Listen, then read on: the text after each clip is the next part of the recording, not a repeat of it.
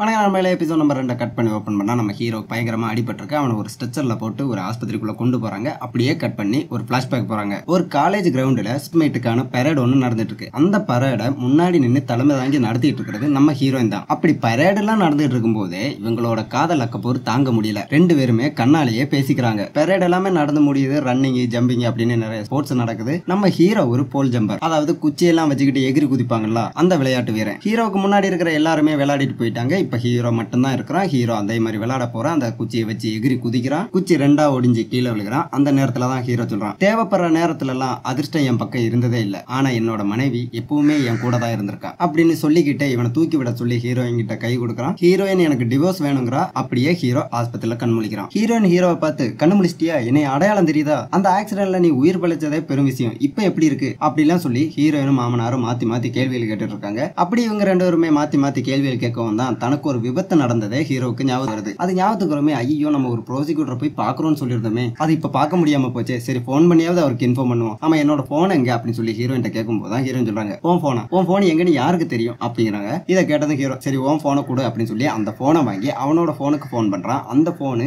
அவனோட அந்த நசுங்கி போன காருக்குள்ள கிடக்குது. அந்த காருக்குள்ள எவனோ ஒருத்தன் இந்த மொபைல் எல்லாம் எடுத்து பார்த்துட்டு அதை அப்படியே அங்கேயே திருப்பி போட்டதுக்கு அப்புறமா நம்ம ஹீரோ அந்த டேஷ் கேமராவோட வீடியோவை பென் டிரைவா வச்சிருப்பான்ல அந்த பென் டிரைவை மட்டும் எடுத்துட்டு போறான். அவன் அந்த பென் டிரைவ் எல்லாம் எடுத்துட்டு அங்கிட்டு போனதுக்கு அப்புறமா ஹீரோட கார் ஏற்கனவே நொறுங்கி போய் தான் இருக்கு. அந்த காரை மொத்தமா சோழிய முடிக்கிறாங்க. கட் பண்ணி ஓரிரு நாட்கள் ஆயிருச்சு. ஹீரோக்கு இப்ப காயெல்லாம் பரவாயில்ல. கொஞ்சம் குணமாயிட்டான் குணமானதுக்கு அப்புறமா அவனோட கார் இருக்கிற இடத்துக்கு போய் அவனோட மொபைலை எடுக்கலாம் அப்படின்னு சொல்லி மாமனாரையும் கூப்பிட்டு கிளம்ப போற நேரத்துல தான் நம்ம ஹீரோயின் வந்து எங்க போற? உனக்கு இன்னும் ஃபுல்லா சரியாகல. நல்லா சரியானதுக்கு அப்புறமா நீ இங்க இருந்து கிளம்புனா போதும் அப்படின்னு இவங்க பேசிட்டு இருக்கிற நேரத்துல தான் அங்க ஒரு சில போலீஸ்காரங்க வராங்க. அங்க வந்த போலீஸ்காரங்க ஹீரோ கிட்ட உங்களுக்கு விபத்து நடந்து முடிஞ்சதுமே உங்க ரத்தத்தை நாங்க டெஸ்ட் பண்ணோம். அந்த ரத்தத்துல போதைப்பொருள் கலந்துருந்துச்சு. சோ போதைப்பொருள் பொருள் பயன்படுத்தின குற்றத்துக்காக உங்களை நாங்க அரெஸ்ட் பண்றோம். அதுக்கு எங்ககிட்ட வாரன் இருக்கு. அப்படின்னு சொல்லி நம்ம ஹீரோவை அங்க இருந்து அரெஸ்ட் பண்ணி கூட்டு போறாங்க. இதை பார்த்து அந்த மாமனாரும் மனைவியும் போலீஸ்காரங்கிட்ட கதறாங்க. என் புருஷன் என் மருமகன் அப்படிப்பட்ட ஆள்லாம் கிடையாது. அவனுக்கு போத பொருள்னாலே என்னன்னு தெரியாது. அவன் இந்த தப்பை பண்ணிருக்க மாட்டான். நீங்க தப்பான ஆளை அரெஸ்ட் பண்ணிட்டு போறீங்க அப்படின்னு சொல்லி கதறாங்க. இவங்க என்னதான் கதறினாலுமே கேட்காம போலீஸ்காரங்க நம்ம ஹீரோ கொண்டு போய் அவங்களோட வண்டியில உட்கார வைக்கிறாங்க. அந்த வண்டிக்கு வெளியில நிக்கிற நம்ம ஹீரோயின் ஹீரோவை பார்த்து நீ எந்த தப்பும் பண்ணலன்னு நான் உன்னை நம்புறேன். அது போல எப்பாடுபட்டாவது உன்னையும் நான் வெளியே கொண்டு வந்துருவேன். என்னையும் நீ நம்பு அப்படிங்கிறாங்க.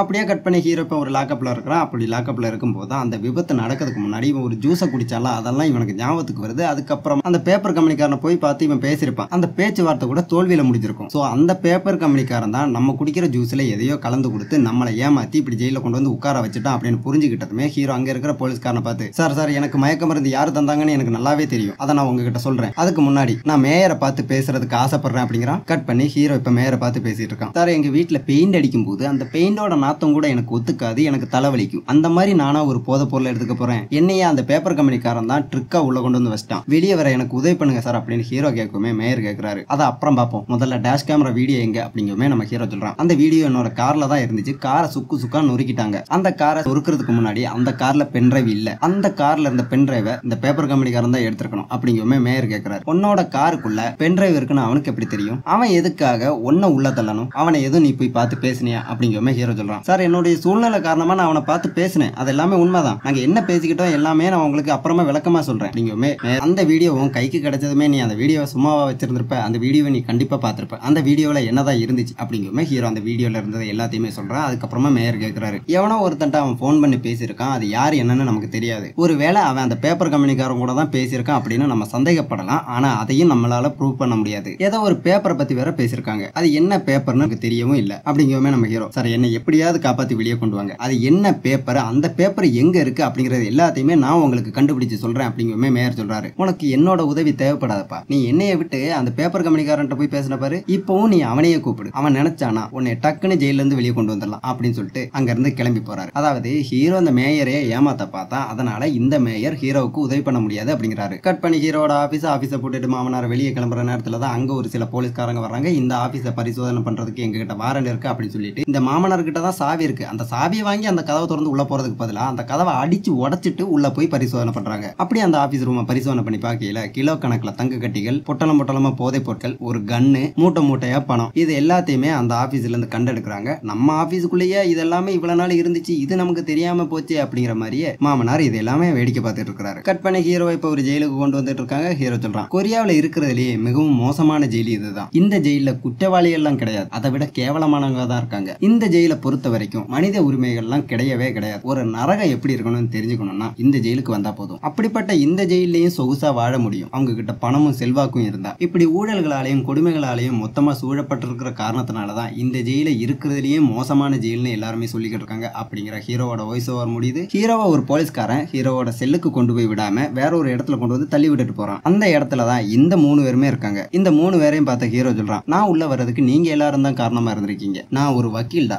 சாகர வரைக்கும் உங்கள் மூணு பேரையுமே உள்ள வைக்க என்னால் முடியும்டா அப்படின்னு கொஞ்சம் மாசா பேசுறாப்ல. பேசி முடிஞ்சதுமே வாயிலேயே குத்து வாங்குறாப்ல. அதுக்கப்புறமா எல்லாரும் போட்டு நம்ம ஹீரோவை மீதி மீதினு மீதிட்டு இருக்காங்க. கட் பண்ணி ஒரு பார்ட்டி நடக்கிற இடம். அந்த பார்ட்டியில மேயர் மேயரோட மனைவி கூடவும் பேப்பர் கம்பெனிக்காரன் அவனோட ஃபேமிலி கூடவும் கலந்துட்டு இருக்கான். பேப்பர் கம்பெனிக்காரன் இந்த மேயரை பார்த்து சொல்றான் மேயரெல்லாம் ஆயிட்டதுனால ரொம்ப சந்தோஷப்படுற போல் இருக்கு. ஆனா ஒண்ணு மட்டும் ஞாபகம் வச்சுக்கோ. உனக்கு நாங்க கொடுத்த டொனேஷன் இல்லைன்னா நீ எல்லாம் மேயரே ஆயிருக்க மாட்டேன் அந்த டொனேஷன் நான் உன்னை பார்த்து கொடுத்தேன் நினைச்சியா? உன் பொண்டாட்டியை பார்த்து தான்டா கொடுத்தேன். உனக்கு டொனேஷனா கொடுத்த அந்த பணத்தை யூஸ் பண்ணி என் வீட்டு நாயை கூட என்னால மேயரா மாத்தி இருக்க முடியும். அப்படின்னு கொஞ்சம் தப்பு தப்பா பேசவுமே இந்த மேயரோட மனைவிக்கு கோவம் வருது. அவங்க இவனை பார்த்து சொல்றாங்க ஆமாப்பா நீ சொல்றதும் கரெக்ட் தான். பேசாம நீ பாக்குற பிசினஸ நீ பண்ணாம அதையும் உன் நாய்கிட்டே ஒப்படைச்சிறேன். ஏன்னா அந்த நாய் உன்னை விட பெரிய புத்திசாலியா இருக்குன்னு நினைக்கிறேன். போன வருஷம் நீ ஒருத்தனை வண்டி ஏத்து கொண்டுட்டு போனேன் அந்த கேஸ்ல இருந்து என் புருஷன் தான் உன்னை காப்பாத்தினாரு. அந்த கேஸ் சாதாரணமான ஒரு ட்ரங்க் அண்ட் டிரைவ் கேஸா தான் இருந்துச்சு. ஆனா உண்மையா பார்க்க போனா அது ட்ரங்க் அண்ட் டிரைவ் கேஸே கிடையாது. நீ போதை பொருளும் யூஸ் பண்ணிருந்த அதெல்லாம் வெளியே வராம பாத்துக்கிட்டது யாரு? என் புருஷன். அப்புறமா பிக் மாஸ் மூலமா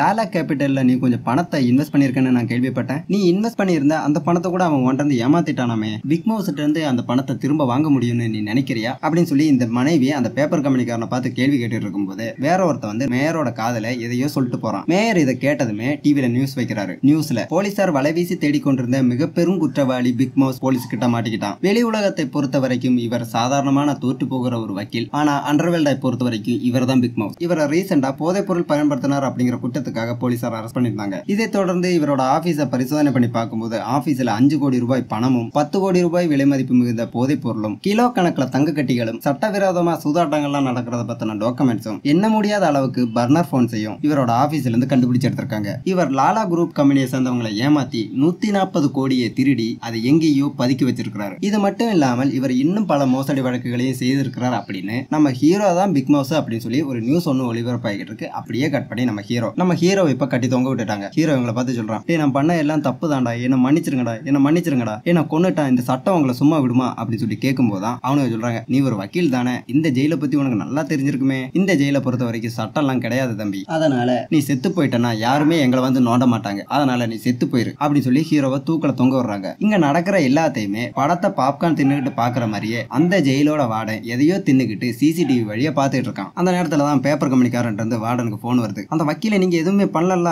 அவனை எதுவுமே பண்ணிடாதீங்க. அவன் நமக்கு உயிரோட வேணும். அவன் தான்டா பிக் மவுஸ் அவன் உயிரோட இருந்தா மட்டும்தான் நம்ம பணம் நம்ம கிட்ட வந்து சேரும். அதனால அவனை எதுவுமே பண்ணிடாதீங்க அப்படின்னு சொல்லி கத்துறான். இவன் இப்படி கத்தி முடிக்கவுமே அந்த வார்டன் ஒன்னு ரெண்டு டாக்டரையும் கூப்பிட்டுட்டு ஹீரோவை தொங்க விட்டுருக்காங்களா? அந்த இடத்த பார்த்து ஓடி வர்றான். இவங்க அப்படி ஓடி வர்ற வழியில தான் அந்த மூணு பேருமே நிக்கிறாங்க. அந்த மூணு பேரையும் பார்த்து பிக் மவுஸ் நம்ம ஹீரோ தான் அப்படின்னு சொல்லிட்டு உள்ள போய் நம்ம ஹீரோவுக்கு சிபிஆர் கொடுத்து நம்ம ஹீரோவை காப்பாத்துறாங்க. கட் பண்ணி நம்ம ஹீரோவை ஜெயில வந்து பாக்குறதுக்காக ஹீரோயின் அந்த வக்கீல் ஃப்ரெண்டை கூப்பிட்டுக்கிட்டு ஜெயிலுக்கு வர்றாங்க. ஆனா அங்க இருக்கிறவங்க ஹீரோ இவங்களை பார்க்க மாட்டேன் அப்படின்னு சொல்லிட்டான் அப்படின்னு சொல்லி இவங்களை திருப்பி அனுப்பி வைக்கிறாங்க. இவங்க ரெண்டு பேருமே அதை பத்தி பேசிக்கிட்டே மறுபடியும் கார்ல வந்து ஏறும்போது தான் இந்த வக்கீலுக்கு ஹீரோயினோட அப்பா ஃபோன் பண்றாரு. நீ நியூஸ் பாத்தியா இல்லையா? நம்ம பையில தான் பிக் மவுஸ்னு சொல்லிட்டு இருக்காங்க. அவங்க நியூஸ்ல சொன்னது போலவே ஆபீஸ்ல இருந்து நிறைய பொருட்களை கண்டெடுத்திருக்காங்க. இந்த விஷயங்கள் எதுவுமே அவளுக்கு தெரியாம பாத்துக்கோ தெரிஞ்சு அவ மனம் உடஞ்சு போயிருவா. இப்ப நீ அவளை வீட்டுக்கும் கூட்டிட்டு வராத. வீட்டு முன்னாடி மீடியாவை சேர்ந்தவங்க குட்டி கிடக்குறாங்க. இதெல்லாம் என் பொண்ணால தாங்க முடியாது. அவளை வேற எங்கிட்டாவது கூட்டு போ அப்படின்னு சொல்லி அவர் இந்த வக்கீல்கிட்ட போன பேசி முடிக்கிறாரு. நம்ம வக்கீலும் ஹீரோயினுக்கு இது தெரிஞ்சுக்க கூடாது அவளை வேற எங்கிட்டாவது கூட்டு போலான்னு ட்ரை பண்றாரு. ஆனா என்ன பண்ணி என்ன? ஹீரோயின் கையில தான் மொபைல் இருக்கு. மொபைல்ல தான் இன்டர்நெட் இருக்கு. இன்டர்நெட் மூலமா ஹீரோ பத்தின நியூஸை ஹீரோயினும் தெரிஞ்சுக்கிறாங்க. கட் பண்ணி சாதாரணமா இருந்த ஜெயிலி இப்ப ஒரே பரபரப்பா இருக்கு. ஏன்னா பிக் மவுஸ்ங்கிற மிகப்பெரும் குற்றவாளியே அந்த ஜெயிலுக்குள்ள இருக்கான்ல. ஹீரோ இப்ப ஒரு செல்லுக்குள்ள கொண்டு வந்து போடுறாங்க. அந்த செல்லுக்குள்ள இருக்கிறவங்க எல்லாம் டிவி பார்த்துட்டு இருக்காங்க. டிவிலையும் நம்ம ஹீரோவை பத்தின நியூஸ் தான் ஒளிபரப்பாகிட்டு இருக்கு. கட் பண்ணி மீடியா முன்னாடி நம்ம ஹீரோயின் பேசிட்டு இருக்காங்க. என் கணவன் பிக் மவுஸ் எல்லாம் கிடையாது. அவன் ஒரு சாதாரணமானவன் தான். அவனை யாரோ வேணும்னே இந்த கேஸ்ல சிக்க வச்சிருக்காங்க. விசாரணை நல்லபடியா நடந்து எங்களுக்கு நீதி கிடைக்கும் அப்படின்னு நான் நம்புறேன் அப்படின்னு சொல்லி மீடியா கிட்ட பேசினதுக்கு அப்புறமா மீடியா வழியா நம்ம ஹீரோ கிட்ட பேசுறாங்க. டே நான் உன்னை பாக்குறதுக்காக வந்திருந்தேன்டா. ஆனா அவங்க என்ன உன்னை பார்க்க விடல. நீ எந்த ஒரு தப்புமே பண்ணாத நிரபராதி அப்படிங்கிறத நம்ம ரெண்டு பேருமே சேர்ந்து போராடி நிரூபிப்போம். உனக்காக நான் வெளியே இருக்கிறேன் அப்படி சொல்லி அழுதுகிட்ட மீடியா முன்னாடி சொல்றாங்க. மூஞ்சி முகரை எல்லாம் காயத்தோட ஹீரோவும் இதை கேட்டு ரொம்பவும் ஃபீல் பண்றான். கட் பண்ணி ஹீரோவை ஒரு ப்ரோசிக்யூட்டர் விசாரிச்சுட்டு இருக்காரு நாங்க இதெல்லாம் உன்னோட ஆபீஸ்ல இருந்து கண்டுபிடிச்சு எடுத்தோம். இதுக்கு நீ என்ன சொல்ற அப்படின்னு கேட்கும்போது ஹீரோ சொல்றான். இது என்னோட ஆபீஸுக்குள்ள தான் இருக்கு அப்படின்னு முதல்லயே எனக்கு தெரிஞ்சிருந்துச்சுன்னா என்னுடைய கடங்காட்சியெல்லாம் அடைச்சிட்டு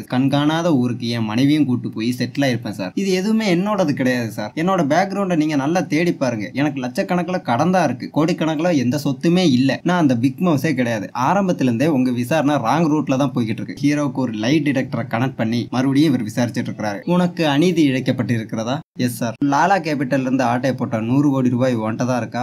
நூறு கோடி ரூபாய் என்கிட்ட பத்து பைசா கிடையாது சார் என்கிட்ட சரி கடைசி கேள்வி. எல்லாரும் பிக் மவுஸ்னு கூப்பிடுறது ஒன்னதானா அப்படின்னு அவர் கடைசி கேள்வி கேட்கவுமே ஹீரோ. லைட்டா இவரை ஒரு மாதிரி ஏறிட்டு பார்த்ததுக்கு அப்புறமா இங்க எல்லாமே தப்பா தான் நடந்துட்டு இருக்கு அப்படிங்கிறது உங்களுக்கு ஏற்கனவே தெரியும். நீங்க எனக்கு லைட் டிரெக்டரை கனெக்ட் பண்ணி கேட்கிற கேள்விகளை கோர்ட்லயும் எவிடன்ஸா யூஸ் பண்ண முடியாது. இது எல்லாமே உங்களுக்கு தெரியும். அப்படி இருந்தும் என்னை ஏன் போட்டு இப்படி பாடாப்படுத்துறீங்க? நான் பிக் மவுஸ் எல்லாம் கிடையாது அப்படின்னு சொல்லி கையில கனெக்ட் பண்ணி வச்சிருக்க எல்லாத்தையுமே புடுங்கி போட்டுட்டு கோவத்துல கத்திக்கிட்டு இருக்கான். அந்த ப்ரோசிக்யூட்டர் சொல்றாரு. அமைதி அமைதி. லைட் டிடெக்டர் கனெக்ட் பண்ணிருக்கும் போது நீ இந்த மாதிரி கோவத்துல கத்தனன்னு வச்சுக்கோயேன் உண்மையை சொன்னா கூட அது பொய்யன் தான் காட்டும். அது அப்புறமா உனக்கு தான் பாதிப்பை தரும். அதனால அமைதியை நான் கேட்கிற கேள்விக்கு பதில் சொல்லு அப்படிங்கிறாரு. இங்க நடக்கிற இந்த விசாரணை எல்லாமே அந்த விசாரணை நடக்கிற இடத்துக்கு வெளியே நின்று நம்ம மேயரும் பார்த்துட்டு இருக்காரு. கட் பண்ணி விசாரணை எல்லாம் முடிச்சுட்டு நம்ம ஹீரோவை மறுபடியும் ஜெயிலுக்கு கொண்டு வந்துட்டு இருக்காங்க அப்படி ஜெயிலுக்கு கொண்டு வர்ற வழியில தான் எங்க பார்த்தாலும் பிக் மவுஸ் இவர் தான் பிக் மவுஸ் இவர் தான் அப்படின்னு நம்ம ஹீரோட முகம் மட்டும்தான் இருக்கு. ஹீரோ அவனுக்குள்ள சொல்லிக்கிறான் நான் ஃபேமஸ் ஆகணும்னு தான்டா எதிர்பார்த்தேன். ஆனா இப்படி ஃபேமஸ் ஆவேன்னு எதிர்பார்க்கவே இல்லை. எனக்கு இப்படி ஃபேமஸ் ஆகவே வேண்டாம். அப்படிங்கிறான். கட் பண்ணி ஹீரோ இப்போ ஜெயிலுக்கு வந்துட்டான். இந்த மூணு பேருமே நம்ம ஹீரோ முன்னாடி வந்து நின்று நீ பிக் மவுஸ் கிடையாதானே அப்படிங்கிறாங்க. அதுக்கு ஹீரோ நீங்க மூணு பேருமா நூறு கோடி ரூபாய் ஆட்டையை போட்டு அதை ஏன் தலையில கொண்டு வந்து வச்சு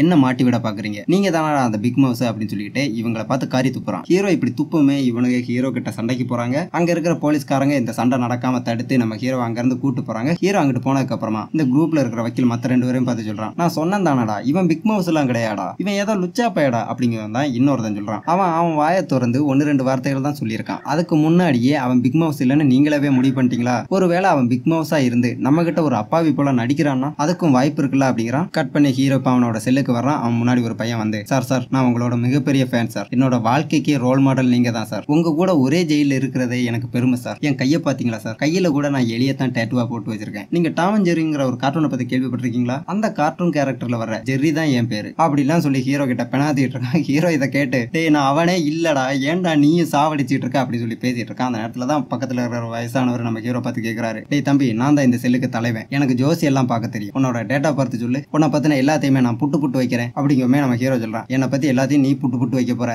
எனக்கே தெரியும் என்னை பத்தி. எனக்கு என்னைக்குமே அதிர்ஷ்டம் இருந்தது இல்ல ஆனா என்னோட ஆயுசு கெட்டி. அப்படிங்கிற இதை கேட்டு அவர் ஹீரோவை ஒரு மாதிரி வித்தியாசமா பாக்குறாரு. அப்படியே கட் பண்ணி இந்த மூணு பேரையும் பார்த்து பேசுறதுக்காக அந்த பேப்பர் கம்பெனிக்காரன் ஜெயிலுக்கு வந்திருக்கான். அவன் இவங்களை பார்த்து சொல்றான். அந்த ஹீரோ தான் பிக் மவுஸா இல்லையாங்கிறத நான் தேடி கண்டு அப்புறமா உங்ககிட்ட வந்து சொல்லுவேன். அது வரைக்கும் அவனோட முடிய கூட நீங்க தொடக்கூடாது. இதை நீங்க ஒரு வார்னிங்கா எடுத்துக்கிட்டாலும் சரி மிரட்டலா எடுத்துக்கிட்டாலும் சரி அவனுக்கு ஏதாவது ஆச்சுன்னா உங்களை முத ஆளா சோழிய முடிக்கிறது நானா தான் இருக்கும். அப்படின்னு சொல்லி மிரட்டிட்டு இருக்கான். இதையும் அந்த ஜெயிலோட வாடன் இப்போ வேற எதையோ தின்னுக்கிட்டு சிசிடிவி வழியா பார்த்துட்டு இருக்கான். நம்ம நாட்டாம படத்துல மிச்சர்திங்கிற ஒரு கேரக்டர் வரும் தெரியுமா? அந்த கேரக்டர் தான் இந்த கேரக்டர்னு நினைக்கிறேன். அவன் அப்படி எதையோ தின்னுக்கிட்டு அவனுக்குள்ளேயே சொல்றான். இந்த மூணு பேருக்கும் ஜெயிலை விட்டு தப்பிச்சு போகணும்னா ஹீரோ சாகணும். இவனுங்களோட பணம் இவனுங்களுக்கு திரும்ப கிடைக்கணும்னா நம்ம ஹீரோ உயிரோட இருக்கணும். இவனுங்களை பொறுத்த வரைக்கும் இவனுங்களுக்கு இது நாய் பொழப்பு அப்படிங்கிறாரு. அப்படியே கட் பண்ணி நம்ம இந்த வீடியோவை இன்னைக்கு இதோட முடிச்சுக்குவோம். ஏன் இன்னைக்கு இந்த வீடியோ இதோட முடிக்கிறேன்னா இந்த சீரிஸ்ல நிறைய காப்பிரைட் ப்ராப்ளம் வருதுன்னு நான் கேள்விப்பட்டேன். அதனால இந்த சீரியஸை நம்ம கொஞ்சம் லெந்தா கொண்டு போனோம்னா ஒருவேளை நம்ம சேனலை தூக்கிடுவாங்க. அதனால இந்த சீரியஸை நம்ம எபிசோடா பார்க்காம பார்ட் பை பார்ட்டா பார்க்க போறோம். அடுத்த பார்ட்டுக்கு நான் உங்களை ரொம்பலாம் லேட் பண்ண வைக்க மாட்டேன். முடிஞ்ச இன்னைக்கு ஈவினிங்கே வீடியோ வந்துடும் அப்படி இல்லைன்னா நாளைக்கு வீடியோ வந்துடும் ஸோ அவ்வளோதான் நீங்க நம்ம சேனலுக்கு புதுசாக இருந்தால் மறக்காம சப்ஸ்கிரைப் எல்லாம் போட்டு வச்சுக்கோங்க. அப்போ தான் நம்ம ஒவ்வொரு வீடியோவும் நீங்க மிஸ் பண்ணாம பார்க்க முடியும். வீடியோ பார்த்து பிடிச்சிருந்துச்சுன்னா வீடியோக்கு லைக் பண்ணுங்க கமெண்ட் பண்ணுங்க ஷேர் பண்ணுங்க. மறுபடியும் அடுத்த பாட்டில் வந்து நான் உங்களை மீண்டும் சந்திக்கிறேன். அது வரைக்கும் நன்றி வணக்கம்.